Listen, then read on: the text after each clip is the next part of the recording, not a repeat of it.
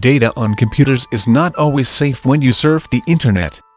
There are computer users that try to place viruses on your computer to steal your personal information.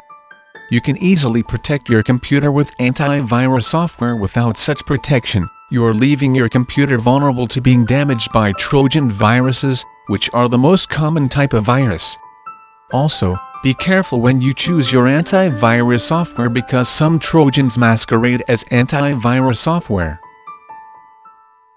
Trojans can do serious damage to your hard drive if they are not taken off your computer in short order. Hackers write and rewrite their Trojans to masquerade as different types of software. However, Trojans can hide in pop-ups as well always verify if the software or website you are visiting is safe with antivirus software. There are also viruses that are called worms. A worm corrupts data while searching for anything the hacker designed it to find.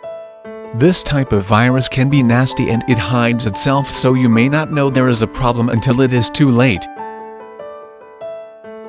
Antivirus software can protect your system from such viruses, however. You may be asking yourself, how does that work?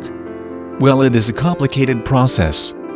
Basically though, Antivirus software comes with several antivirus codes that track down problems on your computer. When the program finds a problem, it notifies you and deletes the virus.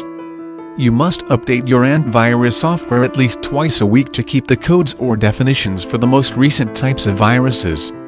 The program will ask to run a full scan of your computer, which it is suggested you run this scan three times a week to ensure your system is safe.